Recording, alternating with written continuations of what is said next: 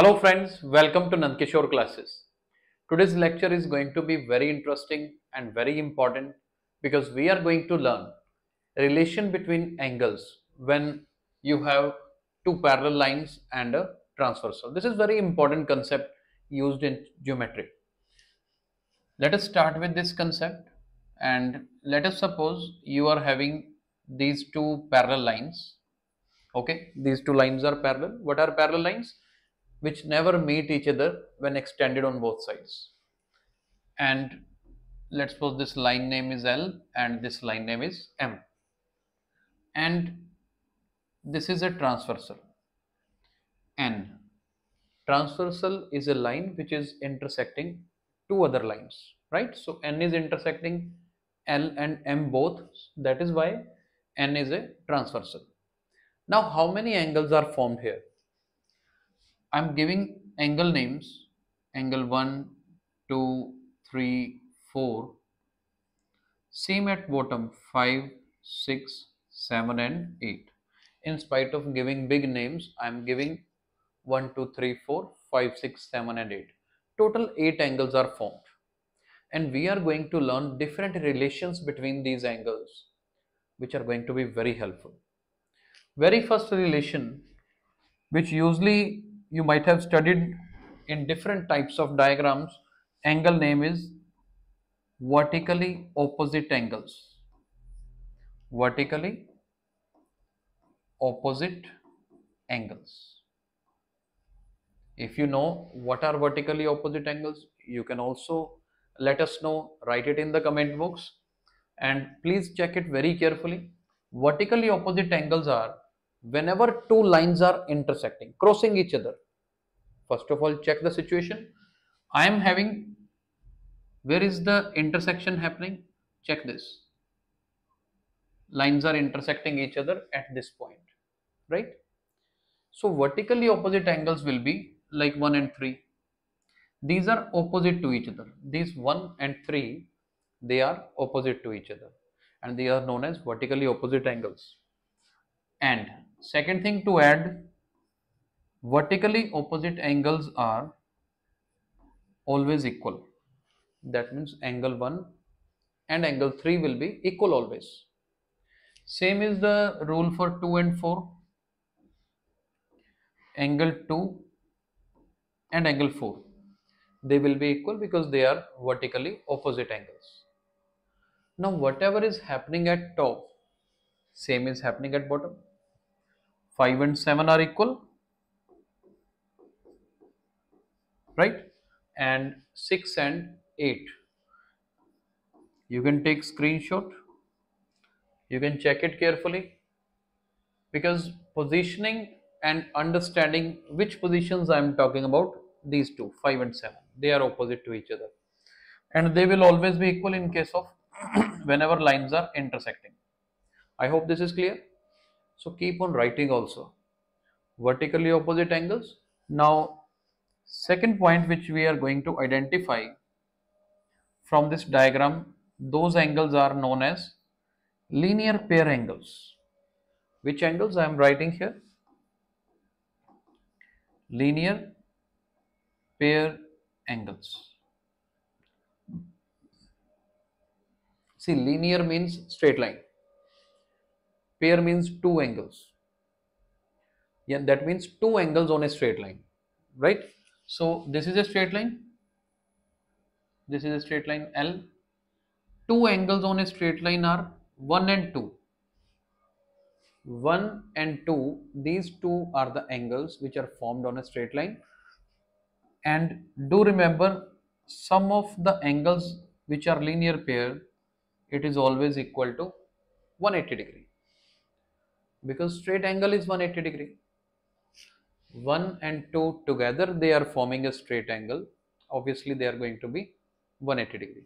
So this 1 and 2 check 3 and 4 same is the relation for angle 3 and angle 4 their sum is 180 5 and 6 7 and 8 let me write it also.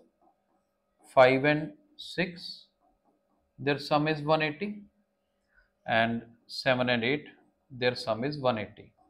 Now you tell me, what do you think? These are the only linear pair angles here or something else is left? Tell me first of all yes or no, if there is any other angle or not. If you think some another angle pair is also forming linear pair here, try to find that those angles. I'm cleaning them making the space to write the others. First of all, let me tell you, yes, there are few more angles which are forming the same kind of pair. Because if you see n is also a line, right? Sorry, it's removed. n is also a line, right? This one, this n. So why not 1 and 4? 1 and 4 is also coming on n line. That means 1 and 4 they also form linear pair angles. And in the right side of it 2 and 3 they also form same linear pair angles. But this is not the end. Same at the bottom 5 and 8 5 and 8 their sum is 180 degree. 6 and 7 their sum is also 180 degree. That means total 8 pairs are there. How many pairs 8 pairs are there which are forming linear pair angles. So as of now two types we have covered vertically opposite angles then linear pair angles but these are the types which we had already covered. We were just finding these types in special case of parallel lines and transversal. But out of these eight angles, first of all, there are few interior angles, there are few exterior angles let me tell you interior I mean 3, 4, 5 and 6. They are coming between parallel lines. That is why they are interior. And exterior angles are 1, 2, 7 and 8 which are coming outside the parallel lines. I hope you are clear with that. Now next point comes alternate alternate interior angles how I remember it. See, first of all, we are talking about interior angles. That means 1, 2, 7 and 8, they are not in the picture, right? We are going to deal with interior angles only. Alternate. Alternate means one from left side, one from right side. Now somebody would say, sir, can 5 and 6 be alternate? I would say no. 5 and 6 you have already used. They are linear pair angles right? We cannot repeat the angles. It's already done. Now what which one is left then? Left side 4 and right side 6 from the interiors if left side is 4 then right side is 6 they are known as alternate interior angles and here they are always going to be equal. Same with this 3 and 5 they will be equal to each other this is the relation of alternate interior angles. So as of now vertically opposite angle is done, linear pair angles is done and alternate interior angle is done. Other than alternate interior, there is one concept of alternate exterior as well. I am just writing it here, alternate exterior angles. Now same is the rule now interior angles are not in the picture. We have to talk about exterior angles. That means 1 and 7. 1 from left, 1 from right and both should be exterior. So 1 is equal to 7 and 2 is equal to 8. They form alternate exterior angles. Vertically opposite angle, linear pair angle, alternate interior, alternate exterior. We need to remember these all names as well. Next we are going to talk about corresponding angles. Angle names are corresponding angles. See learning these relations are very important to do the geometry even. In most of the chapters, most of the topics these are going to be used. Corresponding angles how I remember both above the parallel lines and on the same side. Both angles above the parallel lines and are on the same side, either left or right.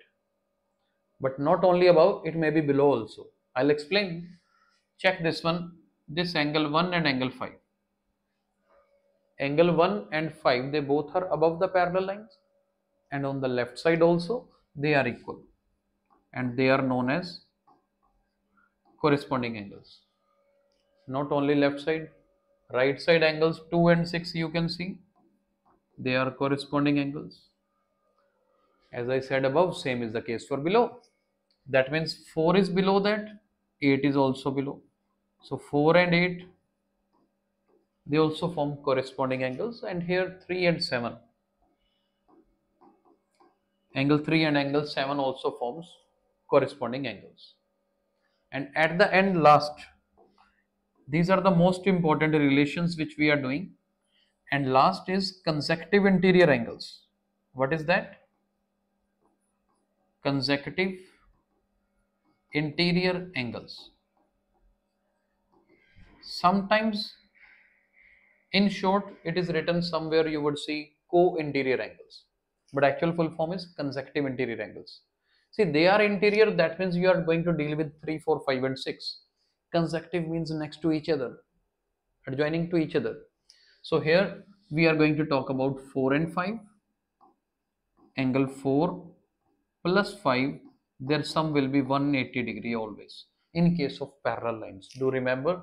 And this 3 and 6 their sum will also be 180 degree it is actually told like interior angles on the same side of a transversal are supplementary they are known as consecutive interior angles.